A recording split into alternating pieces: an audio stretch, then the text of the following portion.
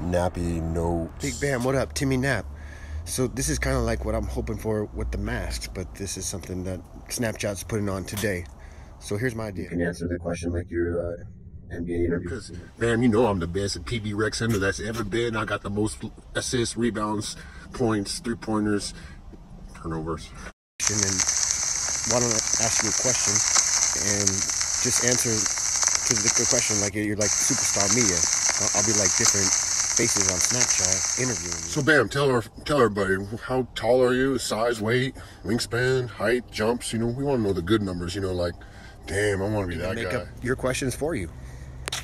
Let's go, brother. Really, you can not even be you, and you could be talking shit about some referees, or I could be, you know.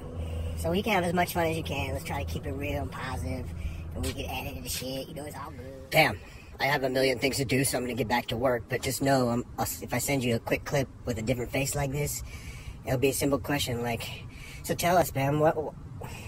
Why now? Why the kids? What does it matter?" Let me see if I can, uh, or we can, activate the screens that we're talking on now because it, I think down the road for us to be cool, funny shit, we'll be able to have different characters and different voices and we'll be able to do our own deal.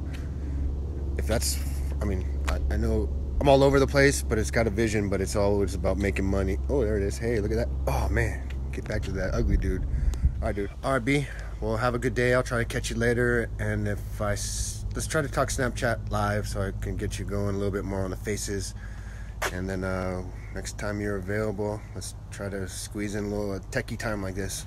We got to come up with a name for the show. Like it'll be like a 20 second timeout in NBA or game time, but it'll be like a 20 second techie.